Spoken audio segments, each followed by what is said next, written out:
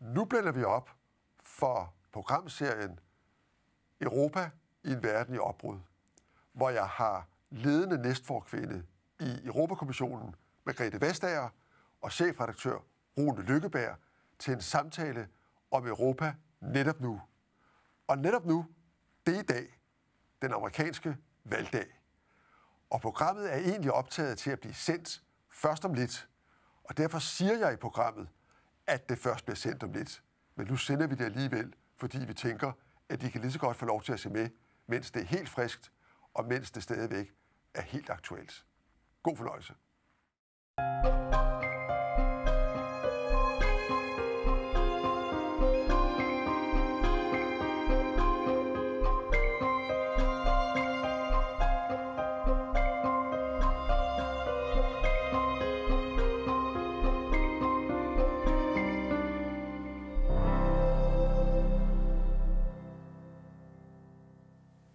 Velkommen til tv-serien Europa i en verden i opbrud.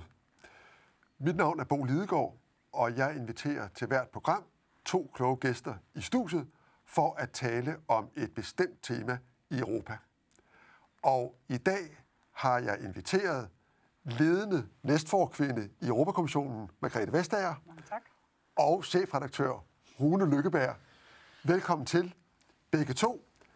Det vi skal diskutere, det er, hvordan Europa står i verden med pandemien, med USA, med Brexit, med Kina, og i det hele taget, hvor er vi hen med Europa, og hvor er vi henne med Danmark i Europa. Margrethe Vestager er jo ud over at være ledende næstforkvinde i kommissionen, også forhenværende konkurrencekommissær, og nu med et kæmpe ansvar oveni for den digitale udvikling. Det bliver også et specielt tema. Og Rune er udover at være chefredaktør, forfatter, senest til den fremragende Vesten mod Vesten, som også i høj grad handler om Europa, og om hvordan vi er som folk og som kultur midt i det her opbrud, som jo også omfatter Europa, og som Europa skal manøvrere i. Og så skal jeg også sige, at øh, det øjeblik, vi begynder den her udsendelse i, optagelserne til den altså, det er historisk, fordi lige nu åbner valgstederne i USA til valget den 3. november. Og det betyder også, at når vi nu tæller videre om et øjeblik, så ved vi ikke, hvad der videre sker i løbet af den her historiske valgdag. Og vi ved heller ikke, hvem der vinder valget. Det ved I ser, så I er allerede klogere end vi. Men øh, hvis vi nu antager, Margrethe Vestager, hypotetisk, at det er Joe Biden, der vinder, er det så begyndelsen til en normalisering af det transatlantiske forhold? Og jeg spørger dig nu først, så kommer jeg tilbage med en længere gang i det, og Rune får også lov til at svare på det samme spørgsmål. Det bliver aldrig det samme, som det var. Altså Europa har ændret sig meget de her fire år med Trump.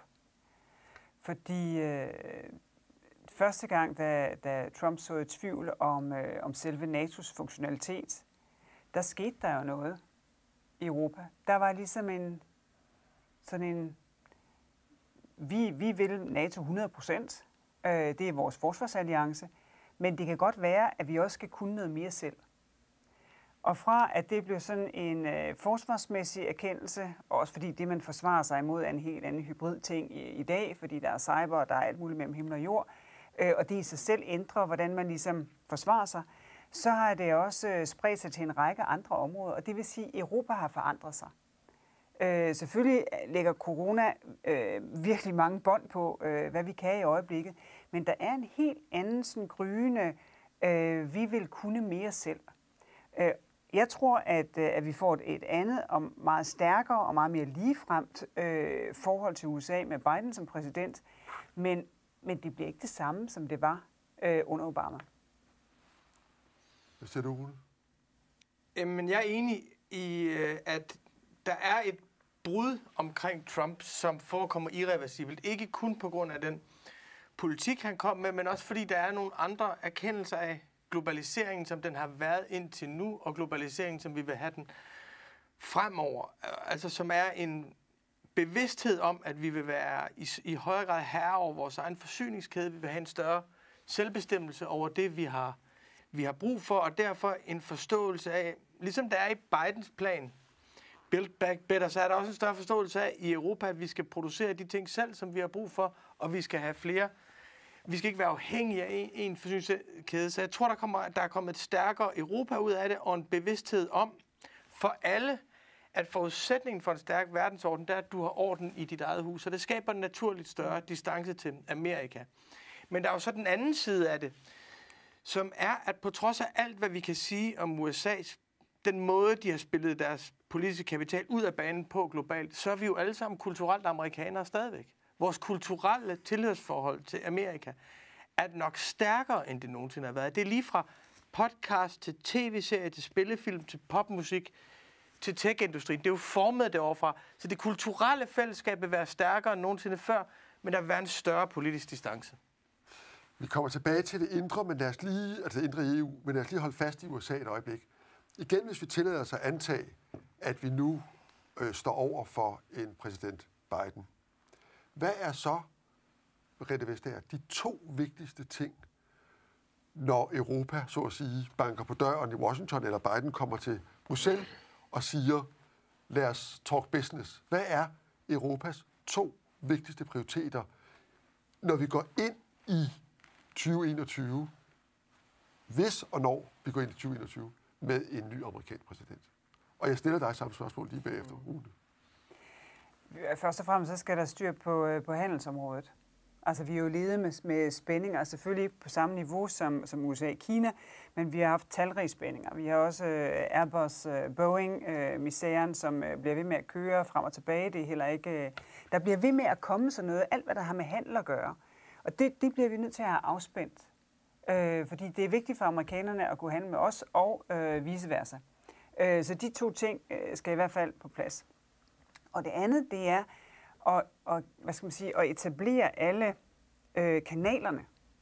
Fordi bare det, at øh, da Trump kom til, der var der jo tomt mellem ham og den professionelle administration i meget lang tid. Altså før alle de forskellige niveauer, de overhovedet blev besat. Så det med det samme at kunne connecte igen, det gør jo, at alle de mange ting, der opstår, øh, som vi gerne vil sammen, men hvor der måske nogle gange jo også er, er, en, er en robust øh, diskussion, og det vil der stadigvæk være, for der er mange ting, som vi ser anderledes på end amerikanerne. Det at få, få etableret alle de her forskellige niveauer, det er det helt afgørende, fordi så kan vi genaktivere øh, et, øh, et, et venskab og et øh, kulturelt og, og værdimæssigt fællesskab, som går årtier tilbage. Og, og det, det, det er for mig noget af det aller, aller vigtigste. Og hvad vil det være for dig, Rune Lundberg? Jamen, hvis vi antager, at Biden vinder, så vil han jo få muligheden for at blive den første rigtige klimapræsident. Altså, vi har jo klima som sådan en meget stærk problemerkendelse. Og det er jo en sjov problemerkendelse, for der er hos skolebørn, og den er i erhvervslivet, og den er kommet relativt sent, rigtigt ind i kernen af de gamle politiske partier. Altså rigtigt, rigtigt ind i kernen. Og jeg synes, I er kommet langt i, i kommissionen med, hvad I har lavet, der er kommet langt i. Men vi mangler en, der har den. Altså, det, det er meget sjovt, at det er et 16-17-årigt barn fra Sverige, der stadigvæk er den globale leder på klima. Og det afgørende for mig, det vil være, om Joe Biden vil tage den. Og det vil også for mig at se være fuldstændigt afgørende for Europa. Om Joe Biden vil være den første globale klimaleder. Både på den måde, han vil føre industriel politik på, den måde, han vil lave handelsaftaler på, og den måde, han vil føre diplomati på. Nu bad du om to ting, men jeg synes, det her, det er, altså, sagen er jo i forhold til klima. USA kan ikke løse det alene. USA er afhængig af, at kineserne også omstiller sig. USA og Kina kan ikke løse det alene. De er afhængige af, at Europa også omstiller sig. Så alle, der er jo et afhængighedsspil på et tidspunkt, hvor vores afhængighedsrelationer er meget svage politisk. Og Biden har faktisk, vil, hvis han vinder, så har han muligheden for at blive den helt store leder, der tager den. Og det er Europa afhængig af. Men hvis vi nu forestiller os, at øh, Biden kommer rejsende til Bruxelles øh, med, med, med den dagsorden, og vel også med handelsdagsordenen, og siger, skal vi ikke normalisere de her forhold, mm. og skal vi så ikke vende os øh, med en øh, meget hård politik over for Kina, øh, fordi øh, hvis vi holder sammen, så kan vi måske også presse Kina til at gøre mere, end Kina vil i forvejen, og har ikke været lidt slatne, kan europæere på den kinesiske front. Så, så hvis jeg nu tager jeg i den ene hånd på på, øh, på klima, vil I så ikke til mig i den anden hånd øh, på Kina. Hvad, hvad, er så, hvad vil så være, hvilken holdning tror I så, han vil møde i, øh, i Bruxelles? Jamen, han vil først og fremmest møde et udtryk for, øh, for hvad skal man sige, øh, øh, egeninteressen. Det vil ikke være fordi, at vi gerne vil gøre noget for USA. Altså den Kina-politik, som, øh, som vi har lagt, den, den er for hvad skal man sige, vores egen skyld og for vores globale hensyns skyld. Der er ikke, der er ikke en særlig ting med USA. Øh, vi har håndteret hele spørgsmålet om sikkerhed med, på 5G-området på en helt anderledes måde, end amerikanerne har. Men det ændrer ikke på, at der vil være et interessefællesskab. Fordi øh, vi ser Kina dels som en partner i forhold til klimaforandringer. Hvis ikke de er med, så kommer de ikke til at spille. Øh, men vi ser dem også som en, øh, en øh, konkurrent, både på markederne, altså i helt almindelig handel og valg, men bestemt også systemisk. Og derfor så vil der være et interessefællesskab. Men det er sådan set ikke for at gøre noget for amerikanerne. Det er fordi, at, at vi som europæer har en særlig egen interesse, og en del af den, det er lige præcis det globale spil. Og det, det er for mig meget vigtigt, at vi ikke ligesom igen siger, nu må amerikanerne lede det, endelig kom, hvad gør vi nu? Nej, vi har, vi har i Europa vores, vores, øh, vores egne interesser, og vi spiller det globale spil på en anderledes måde, end amerikanerne gør. Men Rune Lykkeberg, er det reelt sådan, at klimaspørgsmålet er så vigtigt, og så presserende, og så uopsætteligt, at, og så uløseligt uden Kina, som du lige var inde på, at vi nok må erkende, eller vi bør sige til os selv, og måske også sige til, til, til, til, til USA, det kan godt være, at vi har nogle meget alvorlige issues med, med kineserne, og det kan godt være, at der er nogle menneskerettighedsproblemer og, og mange andre problemer, som vi i høj grad jo også er optaget af, som Margrethe Vestager også lige øh, forklarede. Øh, men overalt det trumfer altså nødvendigheden af et pragmatisk samarbejde på det grønne, hvor jo Kina står utrolig stærkt både industrielt og, og, på, og teknologisk. Og derfor må det ligesom, de andre hensyn må trods alt træde i baggrunden for, at vi sammen, USA, Kina og Europa, kan løse klima. Er, er, det, er det et område, vi er nødt til at være lidt pragmatiske på? Også på værdipolitikken? Ja, det synes jeg. Altså, jeg synes, at vi, jeg synes, det meget svære med Kina er jo, at, at i løbet af de sidste 10 år, der er der jo kommet en større problemerkendelse af, at de faktisk, deres autoritære principper, eksporterer de også til os. Altså, at vi overtager nogle af deres autoritære principper på en temmelig ubehagelig måde for at få adgang til deres meget, meget store marked. Så selv hvis vi valgte at sige, at uigurerne, at det var, det, var deres problem, altså selv, så, så ville det ikke blive der. Så vi bliver nødt til på en eller anden måde at konfrontere deres autoritære principper. I den forstand synes, for synes jeg også, det er interessant, at Kina er jo også en global taber efter pandemien. Folk, altså modstanden mod Kina er vokset meget. Mm. Øh, så der er også faktisk et vist pres for at statuere et eksempel over for Kina. Både i Europa og i USA. Der er der en skepsis over for den kinesiske model, og en trussel for, hvad den vil gøre ved os. Problemet er, for mig at se, at den konflikt bliver nødt til at være inden for rammen af et forpligtende samarbejde. Altså, der, der, der er nødt til at være et konfliktrum med Kina, som er inden for en ramme af, at vi går samme vej. Fordi Kina er jo selv kommet med deres 2060-plan, som er temmelig ambitiøs, men deres Belt and Road Project er jo bygget på fossile mm. in- industrier. Så vi skal have en modus, hvor vi både kan have konflikter og en fælles ramme om, om, omkring. Så ja, det direkte svar på spørgsmålet, ja, klima er så bydende nødvendigt, og i modsætning til alt andet politik, effekterne irreversible. Men som du jo er, selvfølgelig er helt klar over, så øh, lige præcis den argumentation, at vi skal være inden for rammerne af et pragmatisk samarbejde øh, omkring klimaet, også når det gælder de andre spørgsmål, at det er jo måske lige præcis den præmis, hvor også en præsident Biden vil være uenig med os. Han vil formentlig efter alt at dømme, af de grunde, du selv var inde på, kører en lidt hård linje der. Så er det et område, hvor Europa skal stå fast på en mere pragmatisk politik? Jeg synes, det er utrolig svært at vide, hvor Biden vil stå der. Altså, Biden er også et barn af Franklin D. Roosevelts æra, hvor det var helt andre og meget mere radikale modsætninger, man skulle kunne forene i FN, og vokset op med, at det rent faktisk var en succes. Biden var med til at lave frihandelsaftaler med Kina i, i nullerne og var meget, meget, meget stor tilhænger af det. Nu er han blevet presset af både den amerikanske højrefløj og den amerikanske venstrefløj til at være principled imod Kina. Og men, den folkestemning, som præcis, du selv var inde på, ikke? Pr- pr- præcis. Men, men jeg, ved ikke, jeg ved ikke, hvor Biden står der, men, men jeg mener, hans arv er Franklin D. Roosevelt, og jeg mener også, det er den ramme, han vil agere indenfor, hvis han bliver fri. Men, men først og fremmest, så kan vi, vi kan ikke løse øh, klimaproblemer ved, ved konfrontation. Altså, det, det kommer simpelthen ikke til at ske. Fordi så, øh, så får vi bare verden splittet op øh, i forskellige poler. Øh, og vi har brug for at udveksle teknologi, vi har brug for at sætte fælles mål, vi har brug for, at det afspejler sig i alle de ting, vi gør. I vores teknologiudvikling, i infrastruktur, i, i handel, øh, i den måde, vi, øh, vi selv bevæger os rundt på kloden på. Og derfor så, så bliver man nødt til at have et rum, hvor man kan tale om tingene. Jeg tror sagtens, man kan have det rum, fordi det er et fælles vilkår for os på kloden, øh, men, men vi kan sagtens have nogle meget mere konfliktfyldte øh, øh, issues kørende samtidig med hvor, hvor der vil være interessemodsætninger. Fordi der er i bund og grund ingen interessemodsætning, når det kommer til klima. Der er ingen vej udenom. Det er en bunden opgave. Men som jo øh, du og kommissionen øh, meget vel ved, så selvom det er en bundet opgave for os, så er der jo i høj grad interessemodsætninger i den forstand, at det er, der er jo det der forfærdelige ved klimaproblemet, at det at bære omkostningen øh, ikke har nogen som helst forbindelse med, om det går ud over en øh, eller ej. Altså at der, hvor udlændingerne finder sted, er fuldstændig ligegyldigt i forhold til, hvem udlændingerne går ud over, og hvem der lider mest under, under øh, de klimaændringer, der foregår. Og lige præcis det forhold er jo et forhold, der, der fordrer ikke bare et samarbejde, men også en eller anden form for forståelse om, hvem gør hvad, for at vi sådan, sådan kan se hinanden i øjnene. Fordi, fordi det jo netop er sådan, som I jo også peger på begge to, at, at ingen af os kan løse det alene, men det er altså ikke sådan, så hvis vi løser det her, så er, det, så, så er, vi, så er vi hjemme.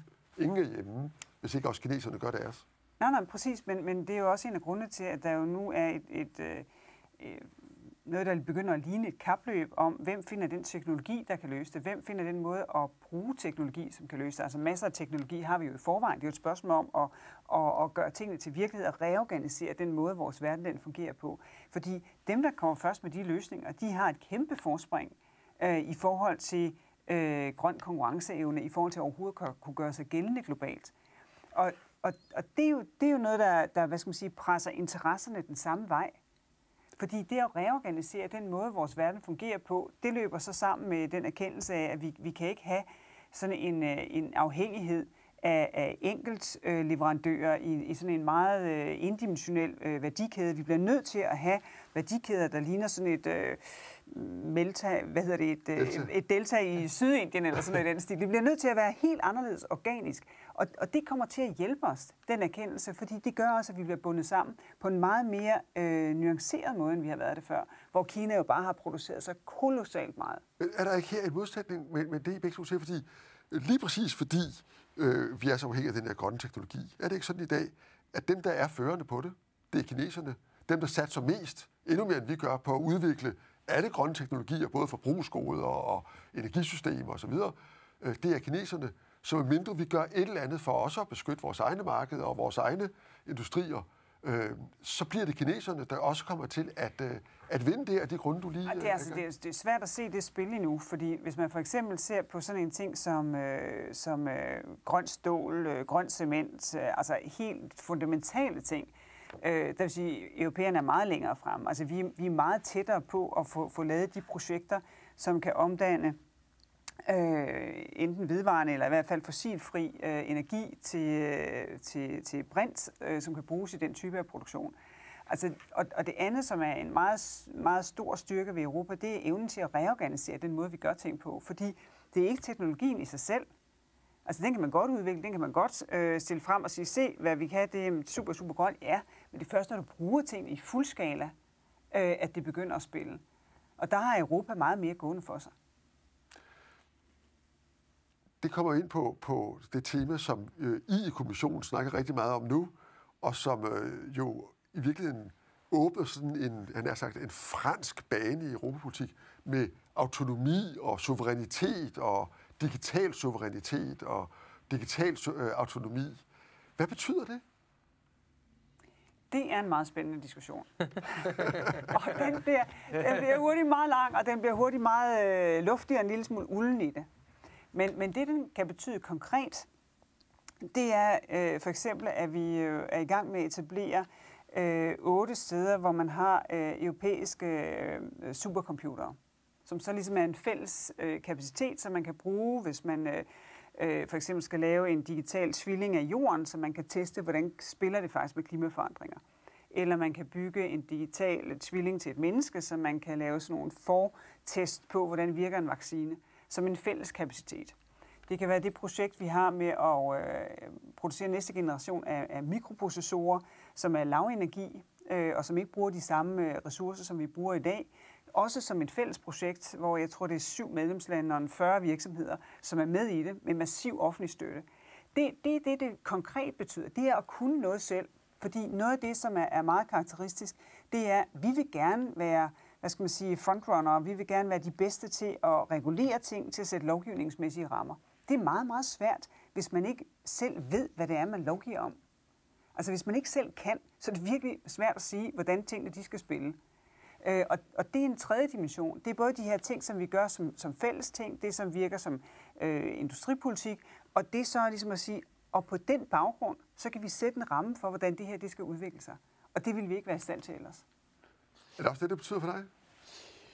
Nej, men jeg er enig, altså jeg er enig med dig, Bo, i dit, det, du skitserer som et grunddilemma. Og Margrethes svar viser også, hvor kompliceret det er. Fordi jeg kan jo godt sidde og sige alt muligt om autonomi og selvbestemmelse og, og interdependenser og sådan noget. Ikke? Men, men jeg, jeg oplever også, at der på den ene side, der er der en, en øh, erkendelse af, at sådan globalt fair and level playing field vil meget nemt gøre, at de amerikanske tech-giganter sidder inde i vores produktionsapparat, og den kinesiske statskapitalisme kommer meget hårdt ind. Så jeg synes, der hele vejen rundt faktisk er en vis, jeg vil ikke sige frihandelsskepsis, men en erkendelse af, at man gerne vil lave frihandel på en anden måde.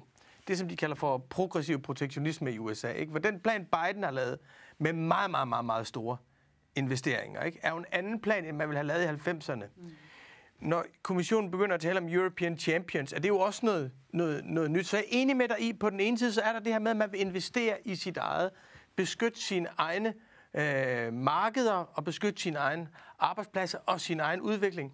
Og på den anden side, så er der enormt behov for vidensdeling, der er enormt behov for udveksling af grøn teknologi. Så, så jeg synes, jeg, jeg kan se det som et meget interessant sådan intellektuelt dilemma, og det kan man godt tale om intellektuelt, men løsningerne på det må nødvendigvis være konkrete, og jeg tror, det bliver et af de store dramaer i 2020'erne.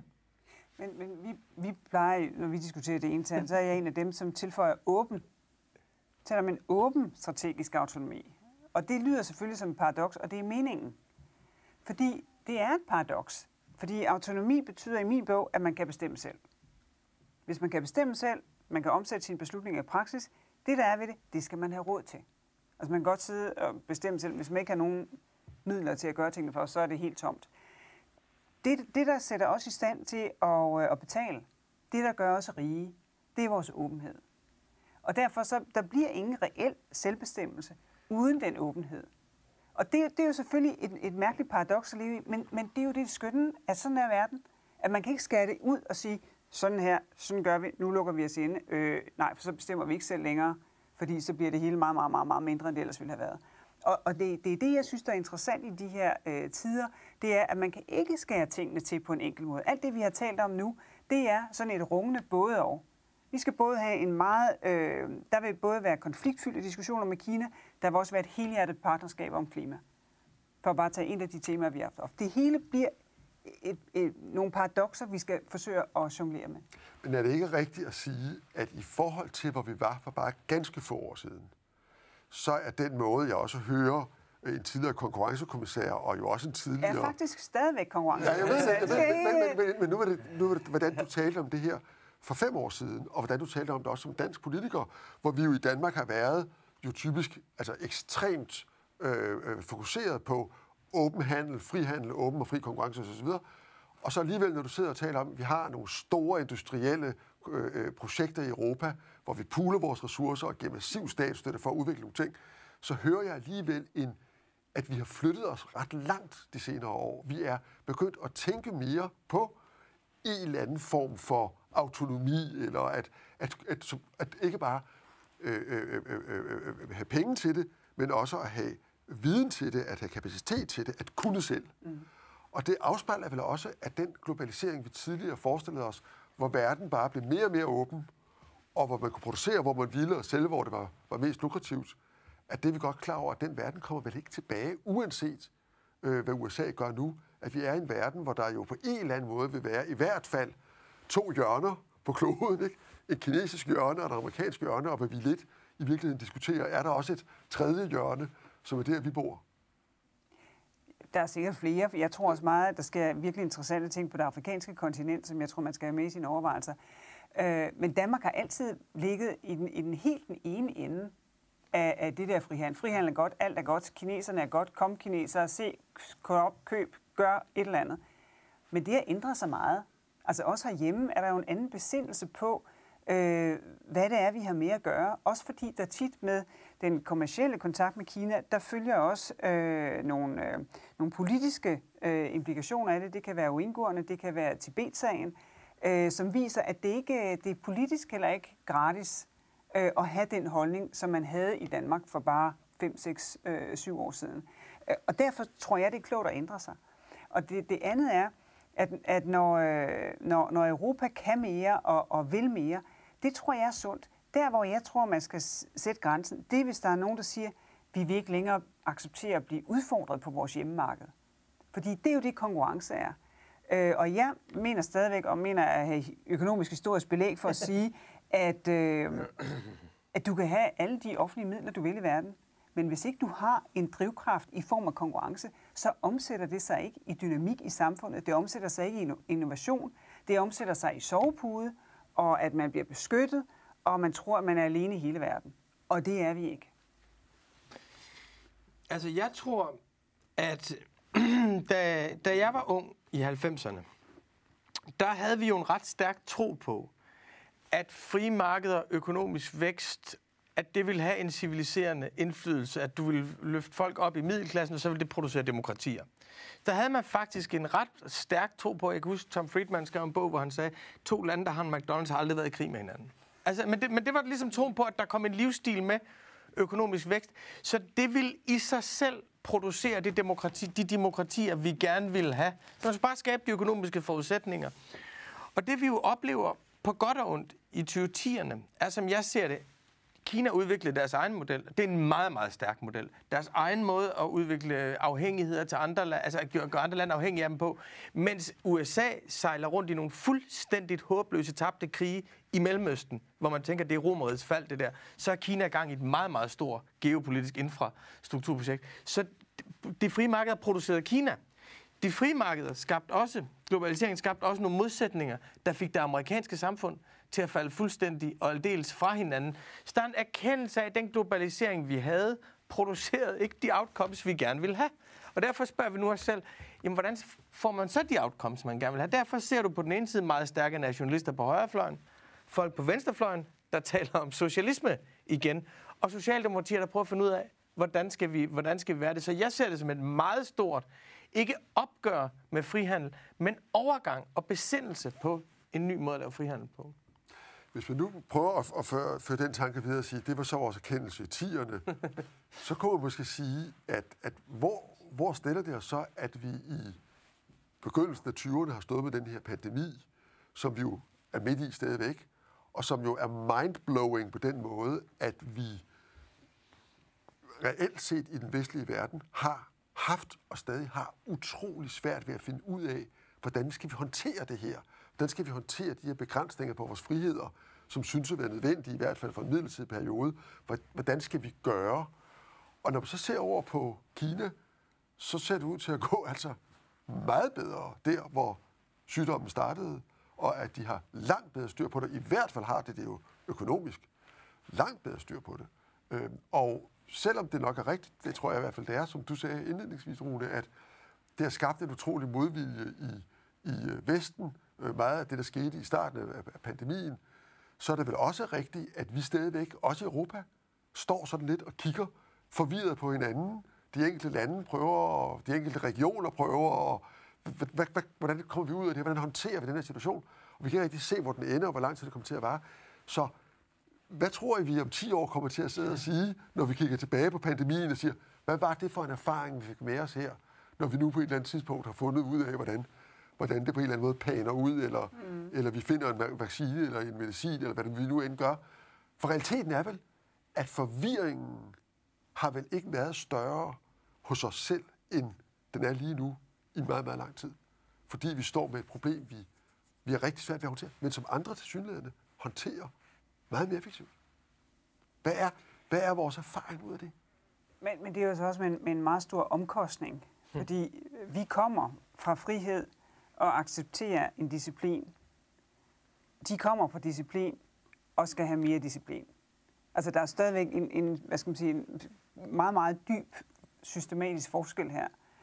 Og, øh, og en af grundene til, at vi kæmper med det, er jo, at der er jo anderledes, ja, der er sikkert de samme økonomiske forskelle, men der er også meget store kulturelle forskelle. Altså jeg tror, at danskerne har meget nemmere ved at, at holde afstand og øh, gøre de ting, man bliver anmodet om. Svenskerne har endnu nemmere ved det, end, end man har bare der, hvor jeg har min hverdag i Belgien. Altså, det, det, der, der er flere, mere politi med bødeblokken dernede, det skulle jeg hilse at sige, i, i forhold til at, at, at få tingene til at spille. Nu er det så slemt dernede, så det giver sine helt naturlige begrænsninger. Men, men det, jeg tror, der kommer ud af det, det er en, en ny, øh, et nyt syn på, hvad staten skal. Øh, både at staten kan mere i hvert enkelt land. Øh, vi har som sagt de her store industrielle projekter, hvor, hvor staten går meget stærkt ind. Men vi har også staten, som kommer meget tæt ind på, hvad kan du også i dit private rum? Hvem må du invitere ind? Hvem må du være tæt med? Hvor mange må du være tæt med? Øh, men også staten, som kommer til at holde hånden under virkelig mange virksomheder i virkelig lang tid. Men den anden side af det er også, at staten er stadigvæk for lille. Altså, hvis, hvis, ikke, hvis ikke vi nu lærer samarbejdets nødvendighed, så kommer det aldrig nogensinde til at ske. Og det har i forvejen taget lang tid. Altså, det har taget meget lang tid bare for medlemslandene til at blive enige om, hvilke niveauer af smitte skal der til, for at vi er grønne, orange og røde? Fordi det kommer jo med nogle øh, følgevirkninger i forhold til, hvad gør man så? Så, så både, der sker både det nu, at staten får en helt anden status i hvert enkelt land, men også det, at staterne bliver meget mere afhængige af hinanden for at få det til at spille internt. Og derfor kan det godt blive til en eller anden form for helt anderledes øh, fornyelse af det europæiske samarbejde. Ikke i form af nye traktater og kompetencer og alt det der, med en fornyelse i forhold til, hvad man er villig til at gøre sammen. Tale om, få sat i værk, få udviklet, fordi man har den her fælles oplevelse. Er det virkelig den gamle franske drøm om nationernes Europa, som vi er ved at, at virkeliggøre? Det, det tror jeg nok, det er faktisk. Altså, fordi jeg tror nok, at altså, uafhængigt af pandemien, så tror jeg i hvert fald for små lande, der indfinder der sig langsomt modvilligt, men uafvendeligt en erkendelse af, at de samfundsformer, som vi sætter meget pris på, kan vi ikke beskytte selv. Dem bliver vi nødt til at have, der bliver vi nødt til at være en del af et større fællesskab, Europa, for at kunne beskytte dem. De det samfundsformer, gør... undskyld, det, det er velfærdsstaten, vi taler om, ikke? Jo, altså jo, i hvert fald relativt højt niveau af social sikkerhed, stabilitet, tryghed, frihed, øh, mulighed for at, at realisere sig selv. At, og det og det er jo ikke fordi, at folk er blevet europæere, at der er større opbakning til den europæiske union. Det er fordi, de sætter pris på det, vi har i Danmark, og finder ud af, at man skal være en del af et stærkere fællesskab for at forsvare det. Så det der, altså, og det synes jeg jo hele tiden egentlig har gjort sig gældende med EU, at der ikke er et nulsumsspil mellem national identitet og europæisk identitet. Snarere en slags supplement. Så på den måde, ja, der tror jeg, at USA og Kina, jeg tror, USA kommer svækket ud af pandemien isoleret set, fordi de har udstillet deres udulighed for sig selv. Det er simpelthen blevet sværere for den amerikanske overklasse at ignorere, hvor dårligt resten af landet har det. Det er blevet sværere for dannede mennesker at ignorere, hvor svært det er for alle de andre. Og Kina kommer ud med et stort tab af global politisk kapital. Det er jeg ikke i tvivl om, de gør. Så derfor mener jeg, at Europa har faktisk muligheden for at komme stærke ud af pandemien. Så vil jeg sige en sidste ting om pandemien, som er, den store ukendte for mig at se, det er, hvad er de langsigtede kulturelle, menneskelige effekter af det her? I starten, tre uger, kæmpe sammenhold, Philip Faber, vi synger sammen. Men nu er det altså ungdomsgenerationer. Det er folk fra de 85 til de 87. De langsigtede kulturelle, eksistentielle konsekvenser vil slå over og på en eller anden måde blive radikale politiske konsekvenser. Vi ved bare ikke, hvordan endnu. Men det er helt, jeg tror, der bliver sådan noget corona-PTSD, og det bliver kollektivt. Altså, hvis vi kan tillade os at antage, at der kommer en form for vaccine, den gør, at, at vi får en anden situation. Vi kan mange flere af de ting, som vi kunne før. Vi kan rejse, vi kan være sammen, vi kan sætte ting i gang, uden at frygte, at det bliver lukket ned dagen efter. Jeg tror, der vil være en, en, en, øh, en langsigtet kan vi nu regne med det alligevel? Er vi nu sikre på det? Samtidig med måske også sådan en nu nu skal der ske noget, nu er vi ligeglade. Altså, der, det bliver en meget lang efterbehandling, fordi det har været så virkelig indgribende.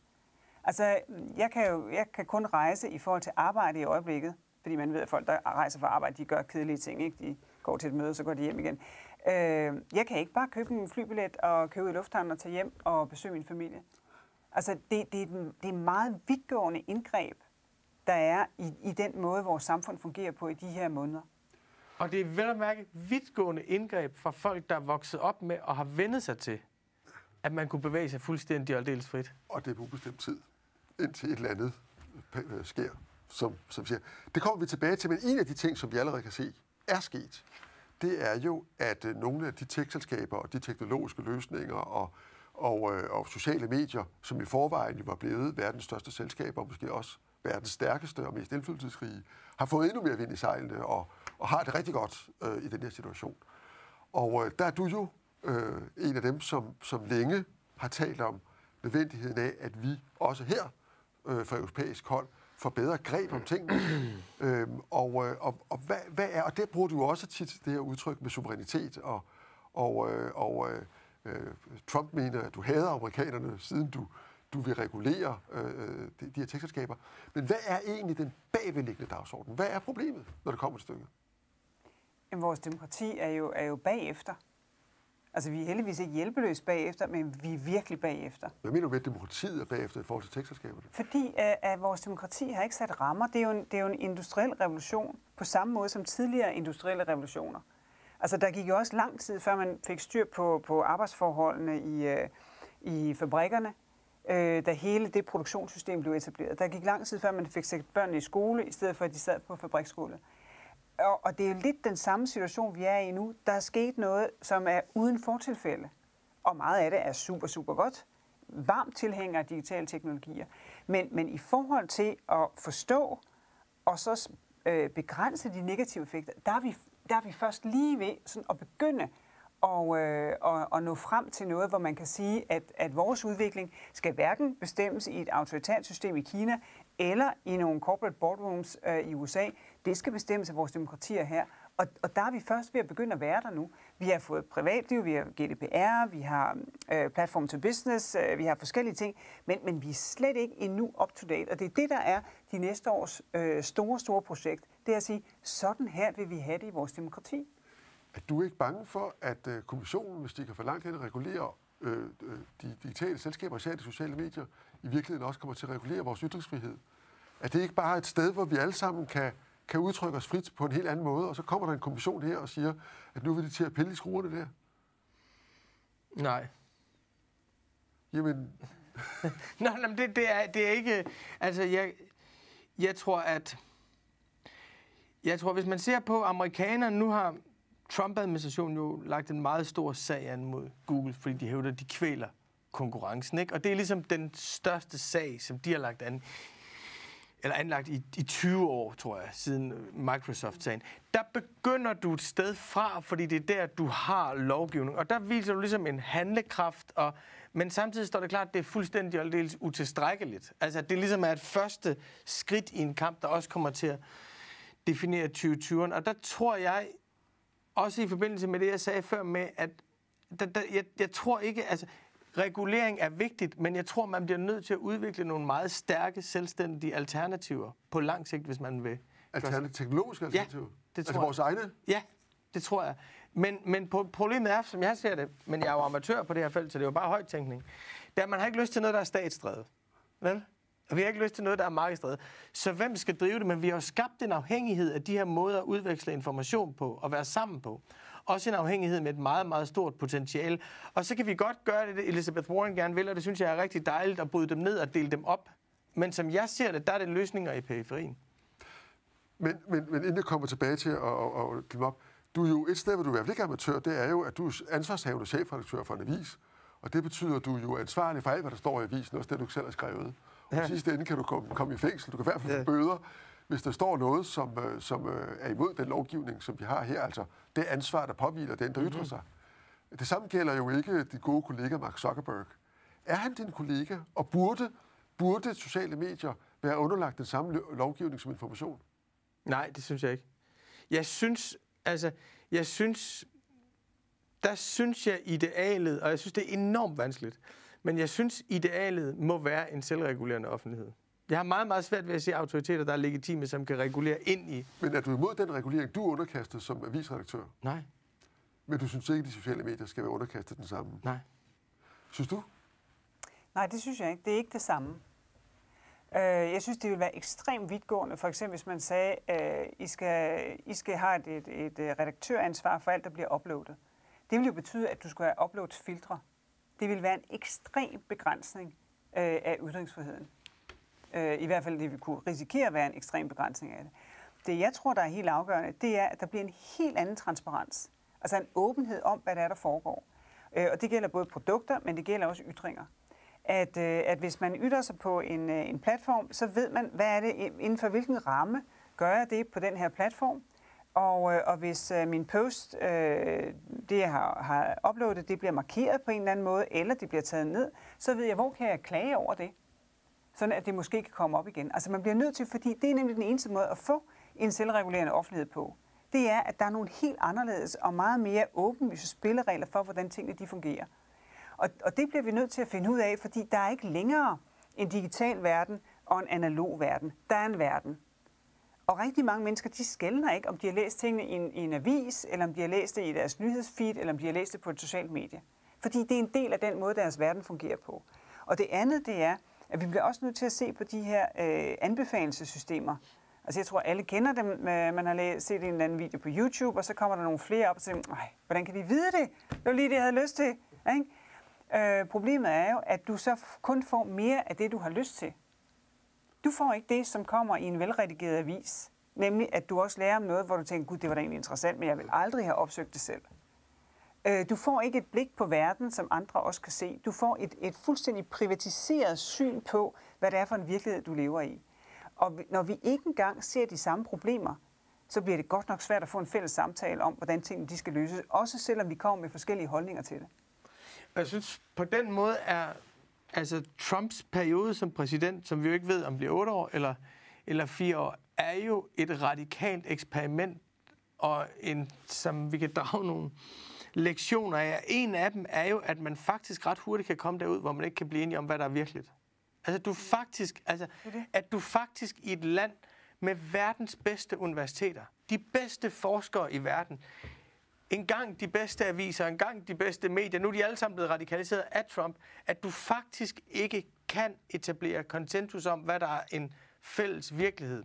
Og der er min pointe, eller min position, for det er ikke nogen særlig stærk pointe, det er mest en holdning, det er, at, at man bliver nødt til at have stærke offentlige fællesskaber, hvor man kan så at sige verificere virkeligheden. Meget, meget banalt udtryk. Vi kunne ikke få en Donald Trumps kamp om virkeligheden i Danmark, fordi vi har Danmarks Radio. Vi kunne ikke få det i, i Storbritannien på samme måde, fordi man har BBC. Men hvordan skaber man stærke offentlige fælles institutioner? Så er det som en kæmpe udfordring. For jeg er jo enig i reguleringsdelen, og der er en meget stor ulighed mellem, at alt er åbent af vores liv for dem, og intet er åbent af deres forretning for os. Men jeg tror også, man skal bygge noget nyt. Nye måder at være fælles på. Betyder det altså, at du er enig med, med, med, med, med Rune Lykkeberg i, at, at ligesom vi skal have hydrogen eller brintanlæg og, og øh, store fælles batteriprojekter og hvad vi ellers har i Europa, så skal vi også have vores egne europæiske sociale medier? Jeg ved ikke, om, om vi vil kalde det sociale medier. Øh, jeg synes, det, det store problem er lige præcis der, hvor, øh, hvor Rune sætter fingeren. Det er det ømme punkt. Hvem er afsenderen? Hvem er, hvem er den legitime, øh, der, kan, der kan komme med noget, som hverken er corporate eller som er statsligt? Og hvor kommer kapitalen fra til at bygge det? Altså kan vi crowdfunde øh, noget, som vi faktisk gerne vil bruge? Øh, fordi vi er ikke færdige med den digitale udvikling. Altså der er ingen, der siger, at, at, øh, at Facebook er stadigvæk er stort om 10 år.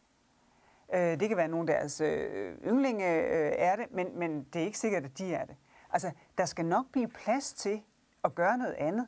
Fordi vi bliver trætte af det. Øh, hvis ikke de øh, udvikler sig, så synes vi, de er kedelige. Så kommer der noget andet, der er mere chic, der kan noget andet i forhold til det. Det, det der er, er vigtigt, det er, om, om nogen kan finde det hul til at skabe noget, der, der opleves som legitimt for os. Og, og at man kan gøre det i, i vores verden, som ikke er som den amerikanske, men som stadigvæk bliver mere polariseret. Vores verden bliver også mere polariseret. Altså vi har også i mindre grad en fælles øh, offentlighed, end vi havde. Det har vi nemlig. Men jeg hører dig ikke sige, at det skal vi regulere os ud af, men det, at det skal vi ligesom kre- kreativt skabe os ud af.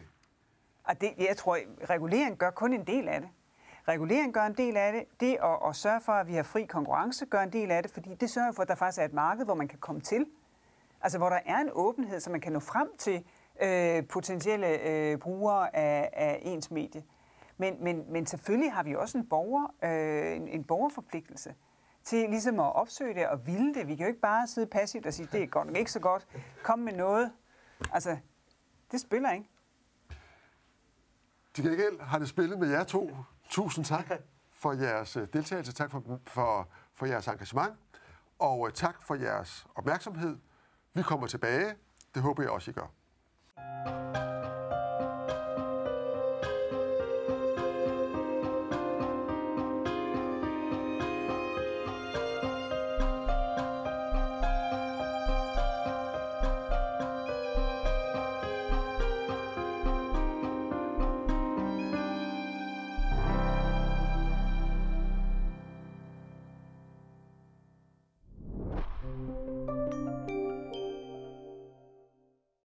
Programmet præsenteres i samarbejde med Europanævnet.